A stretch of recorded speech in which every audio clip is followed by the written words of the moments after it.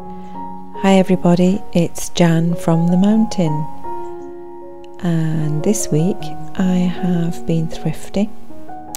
I've got a small haul, vintage haul to show you. And finally I'm knitting again. Thank goodness.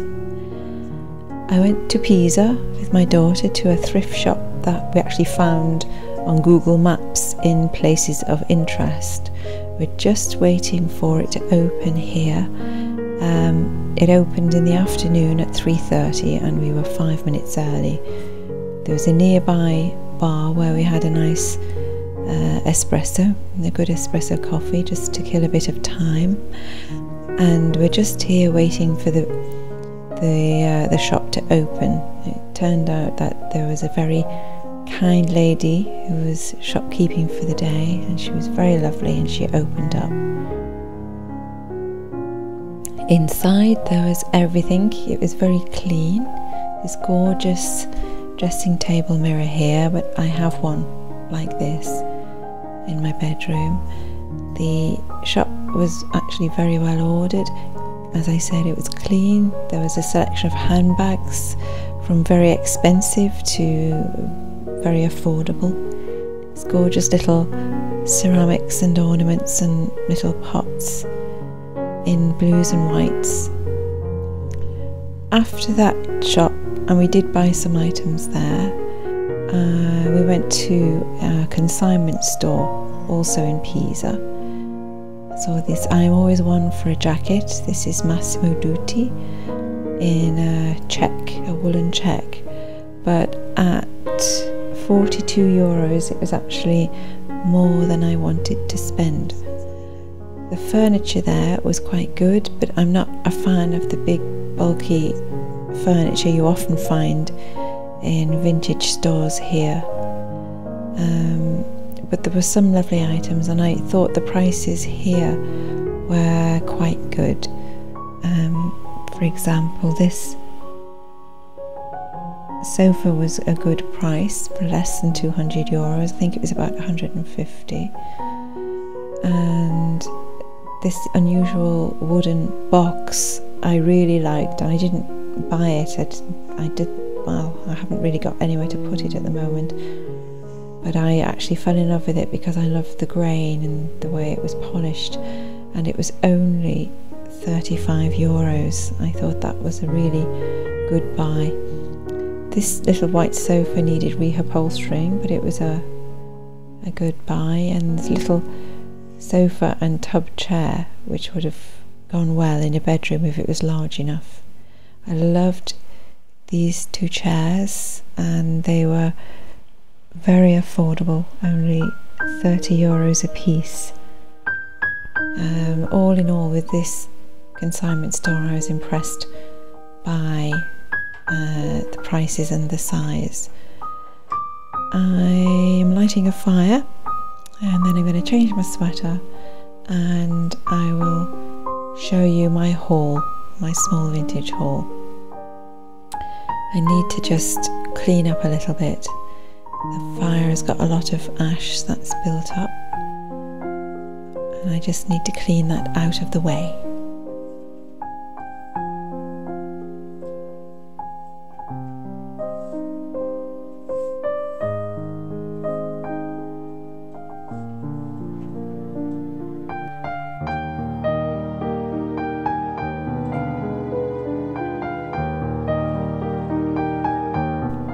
Need to vacuum before I do anything because some of the ash has spilt and unfortunately my vacuum is blocked. I need to change the bag and the filter I think because it just hasn't been working properly.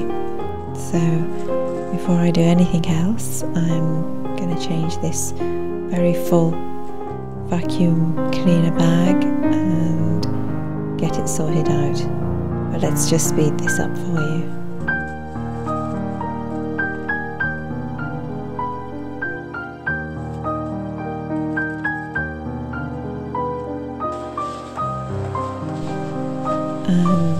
Done. So I'm off vacuuming all the ash that's spilt. And then I'll get the fire lit. And I'll do I'll clean the rug and I'll show you the haul that I got this week. I'm just using some newspaper because we haven't got very much kindling. So I'm making newspaper knots. And my mum used to do these when I was young to light the fire. And they just help get it going. I've got some natural firelighters which are very good but um, you really do need some thin branches and kindling to get these fires going really efficiently. So just going to get my bits and bobs. And I can get the fire built to make my room lovely and cozy so that I can show you my haul.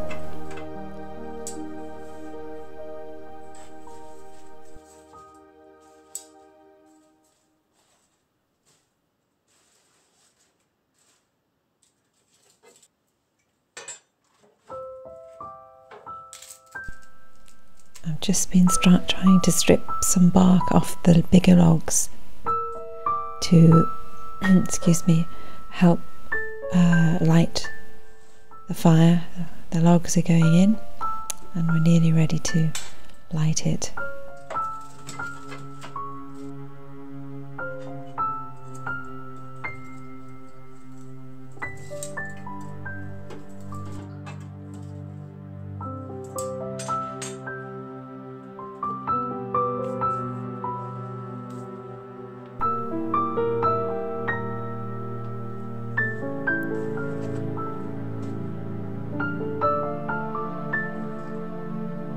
Still needs a little bit more bark and kindling though. I'm not sure it'll get going really well, but it's really sparse with this load of wood that we bought. I do have in the bucket some wood dust. We've got quite a lot of this, and this does does tend to help the fire light. So I'm going to throw some of that in before I actually set fire to everything.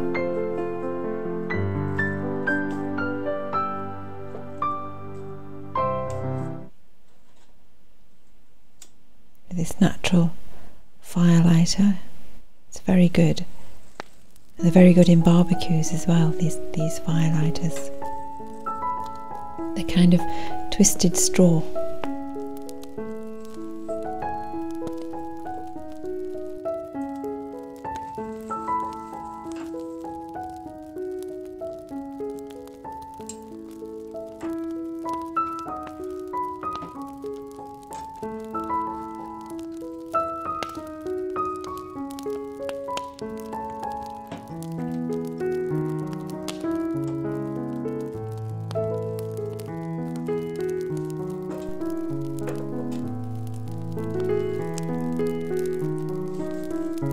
This fire is getting going, I'm going to very quickly just vacuum up around the rug and then I'll show you my vintage haul.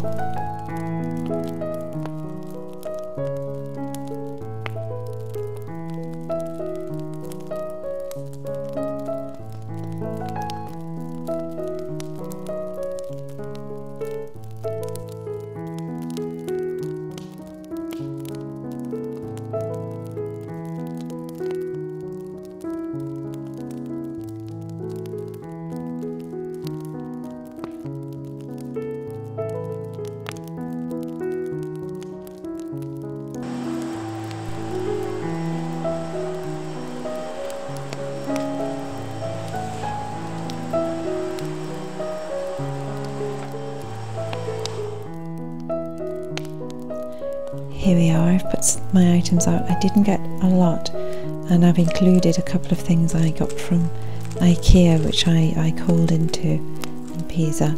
I bought this plant and I wanted to hang it from the beams. I've already got an ivy hanging up and I wanted another dangly plant. And this one has got quite thick heart-shaped leaves and it's kind of stringy but I just I like it. I just, it's a bit different. It's not particularly bushy. it's stringy and uh, I just think it would look very nice in my space if I just get this label off the pot.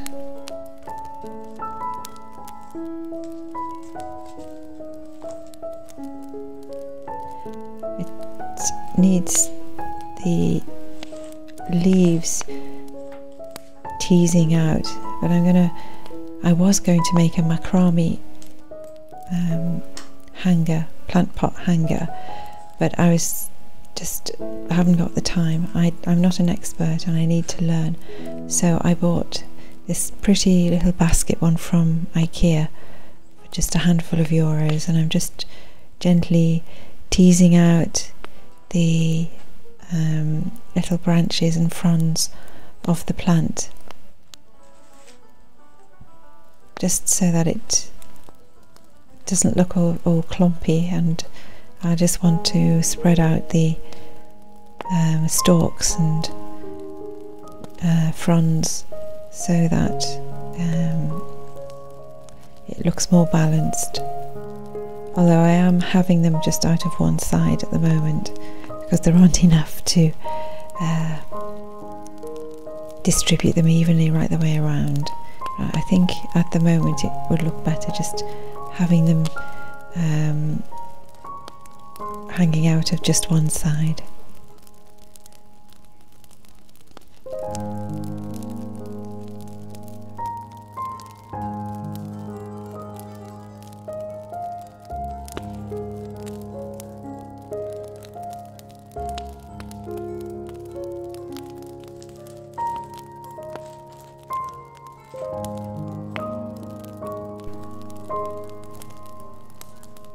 Favourite buy, I think, was from the first shop. It cost me five euros.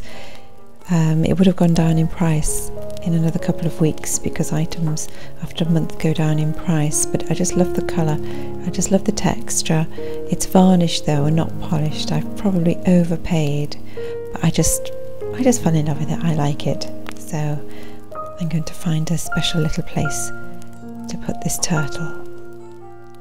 I also got from the first shop green leather belt. I paid 4 euros for it and I think it will go absolutely perfectly with the green linen dress that I thrifted when I was visiting my mum in England recently.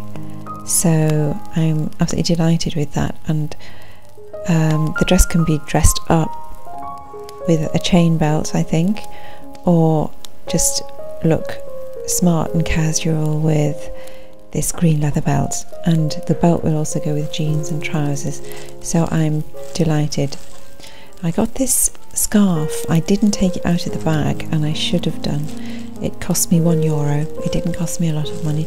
I was drawn to the colours in it but I, I didn't take it out to examine it and it hasn't got hand rolled hems and it isn't silk and it was actually branded L'Oreal. It's not really what I was looking for, but for a euro I just took the gamble. It's a pretty scarf, so I'll probably sell it.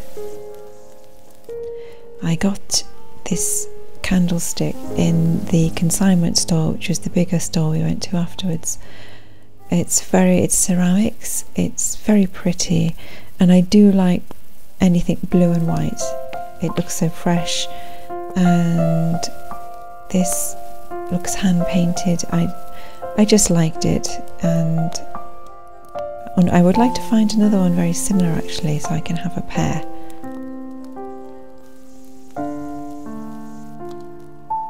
So I'm going to find a lovely place for it.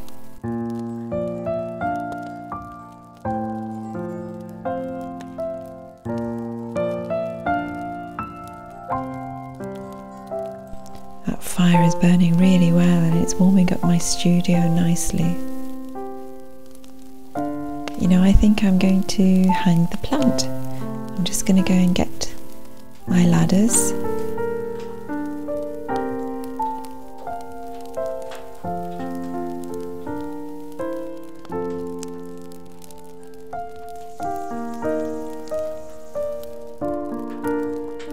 I have left, I had hanging lanterns at Christmas time, and I've left deliberately one or two hooks in because I wanted to put some plants, hang them from the beams. My cats like to eat my plants. It's very difficult for me to have plants on shelves or on the ground. Well, one of my cats, it's not both of them. So I love plants and greenery, so I thought I would hang them from the beams, and I think this looks really cute. This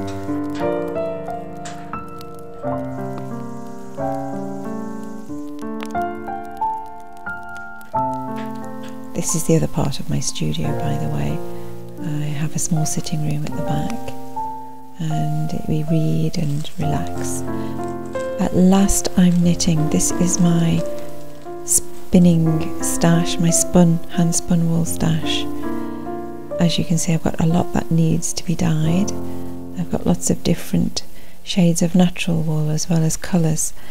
I I've done the ribbing on a sweater that I'm doing. I'm adapting the pattern. It's a pullover, sleeveless pullover, and instead of doing front and back, I've decided to try and knit it in the round. Now, unless I change my mind, I'm going to be doing colour work on this kind of a Fair Isle type of design. And I've finished my dark brown. There's Vart wood wool that I have I've finished. I have some to spin, but I have wool on my bobbins. I can't spin any now. And I don't know if you're like me, but I get very excited about my knitting and I don't like to wait. But this is the ribbing I've done with this is a French wool and it's given its beige colour by there's Kemp hairs in it. Now it, there's supposed to be the dark brown and I I've been wondering whether I should go gold or dark green.